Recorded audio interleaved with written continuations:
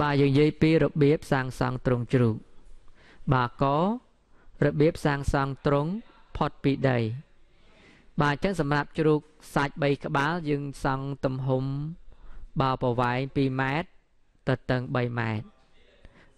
បាទការជីរណ្ដៅជីរណ្ដៅចំនួន4ជម្រៅ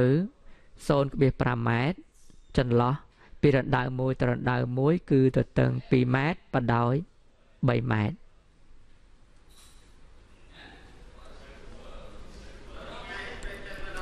បាទការដាំបង្គោលចំពោះជួរមុខយកបង្គោលពីដើមប្រវែង2.5ម៉ែត្រមកដាំរួចបុកបង្ហាប់ឲ្យណែនកម្ពស់2ម៉ែត្រយកបង្គោលឈើពីដើមប្រវែង2ម៉ែត្រមកដាំនៅរណ្ដៅជួរក្រោយ រួចបុកបង្ហាប់ឲ្យណែនកម្ពស់បង្គោលសល់1.5ម៉ែត្រ បាទដំឡើងឃ្លោងឬក៏ធ្នឹមបាទយើងយកឫស្សីមូលឬក៏កូនឈើប្រវែង2.5ម៉ែត្រពីដើមមកវាយភ្ជាប់នឹងក្បាល បង្គោលជួរមុខនិងជួរក្រោយដំឡើងរត់បាទការដំឡើងរត់គឺយើងយក ឈើប្រវែង3.2ម៉ែត្រចំនួន2ដើម មកបោះភ្ជាប់ទៅបង្គោលតាមបណ្ដោយ ដោយយកកម្ពស់0.5ម៉ែត្របាទ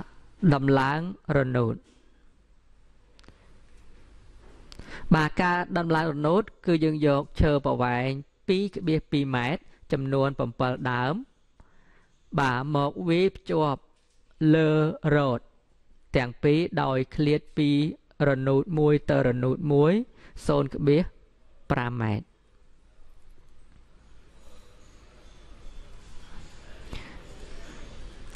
បាទរបៀបបាទរាយបង្កង់គេថាឬក៏ថាហៅថាផ្ទូងយើងគ្រាន់តែយកបាទឫស្សីមូលឬក៏កូនឈើប្រវែង4ម៉ែត្រចំនួន5ដើមបាទមកវាយភ្ជាប់ធ្នឹម បាទខាងលើទាំងពីរតាមមកដោយដោយចន្លោះបង្កង់មួយមួយប្រវែង0.5ម៉ែត្របាទរាយរនៀបបាទការរាយរនៀបយើងគ្រាន់តែយកក្តារឬក៏រនៀបឈើមកវាយភ្ជាប់នៅរនូតដោយទុកចន្លោះតូចប៉ុនម្រាមដៃដើម្បីស្រួលធ្វើអនាម័យឬក៏លាងសម្អាត របៀបវាយរបាយើងយកឫស្សីមូលឬក៏កូនឈើមកវាយភ្ជាប់បង្គោលទាំង4ពីលើកំរាលដើម្បីធ្វើជារបាបាទរបាត្រង់ដោយឃ្លាតពីរបាមួយទៅរបាមួយប្រវែង10សង់ទីម៉ែត្រការប្រក់ដំបូល យើងអាចយកស្លឹកបាទកណ្ដបឬក៏ស្លឹកត្នោត បាទក៏បាន មកប្រក់ដេញពីក្រោយមកលើ បាទជួនកាលកសិករខ្លះគាត់អាចយកបាទប៉ាំងអាស័យយកមកប្រក់ប៉ុន្តែការប្រក់ប៉ាំងអាស័យយើងគួរតែកុំប្រក់ព្រោះអីប៉ាំងអាស័យនៅពេលដែលក្តៅខ្លាំងវាធ្វើឲ្យ បាទជ្រូកបាទពេលដែលវាក្តៅអញ្ចឹងអាវាចំណាំងផ្លាតចូលទៅក្នុងទ្រុងអញ្ចឹងធ្វើឲ្យទ្រុងខ្នក់ធ្វើឲ្យជ្រូកនោះទទួលកម្ដៅកាលណាវាទទួលកម្ដៅអញ្ចឹងជ្រូកខ្លះបាទ វាអាច stress អញ្ចឹងវាអាចបង្កទៅជាជំងឺផ្សេងផ្សេងដោយសារតែវាទ្រាំកម្ដៅមិនបានជួនកាល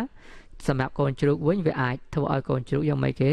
ស្បែករបស់វាឡើងក្រហមឬក៏ជួនកាលវាអាចរលាកផងដែរអញ្ចឹងយើងគួរតែជៀសវាងការប្រក់បាទសង្កស័យការប្រក់សង្កស័យលុះត្រាតែយើងធ្វើនៅពីក្រោមដើមឈើធំធំសម្រាប់ជាមលប់នឹងយើងអាចបាទយើងអាចប្រក់បាំងអាស័យបាន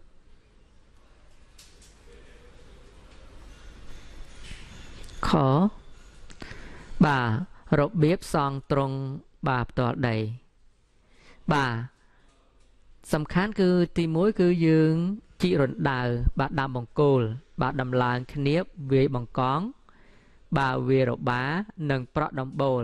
អនុវត្តដោយរបៀបត្រង់ខ្ពស់ពីដីដែរកម្រាលត្រង់ដើម្បីស្រួលក្នុងការអនាម័យលាងសម្អាត ត្រូវក្រាលស៊ីម៉ង់បាទកម្រាលត្រូវធ្វើឲ្យមានចំណោតបាទត្រឹមរមៀលក្រូចមានថាចំណោតគឺ3%បាទម្ដងនៅក្នុងត្រង់បាទយើងត្រូវបុកឲ្យបាទបុកបង្ហាប់ដីឲ្យណែនបើសិនបើយើងមិនធ្វើការចាក់បាទស៊ីម៉ងទេបើសិនបើយើងធ្វើការចាក់ស៊ីម៉ងបាទធ្វើយ៉ាងម៉េចចាក់ស៊ីម៉ងហ្នឹង បាទកុំឲ្យក្រើមពេកឬក៏រលោងពេកហើយត្រង់ដែលយើងចិញ្ចឹមជ្រូកហ្នឹងយើងត្រូវមានការបាទចងមុងផងដែរដើម្បីការពារកុំឲ្យមូសខាំកាលណាមូសខាំវាអាចបង្កទៅជាជំងឺផ្សេងផ្សេងជួនកាលវាអាច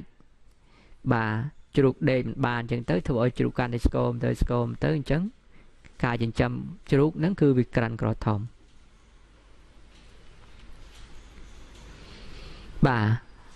បើមិនក្រាលបើសិនបើយើងមិនមានការក្រាលស៊ីម៉ងយើងត្រូវបុកបង្ហាប់ដីឲ្យណែនហើយក៏ត្រូវធ្វើឲ្យមានកម្រាលដូចក្រាលស៊ីម៉ងដែរយើងយើងជីក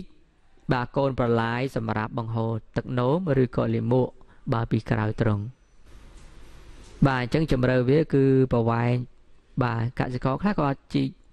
ជំរឿ បាទឆ្លៃទៅតាមដែលគាត់ចង់បាន សំខាន់គឺយើងជីកជំរឿបាទដែលមានជំរឿ3ទៅ4ម៉ែត្រឬក៏កសិករខ្លះក៏អាចជីកជំរឿពី2ម៉ែត្រទៅ3ម៉ែត្របាទចំណាំផងដែរនៅពីក្រោយត្រង់ជ្រូកដើម្បីសន្សំជីធម្មជាតិបាទលាមកជ្រូកយើងត្រូវជីករណ្ដៅមួយ ដើម្បីស្តុបលាមកទឹកនោមឬក៏បាទទឹកលាងជ្រូក ជាដីប្រើលើដំណាំរណ្ដៅនេះយកល្អគួរប្រក់ដំបូលដើម្បីរក្សាគុណភាពដីបាទទី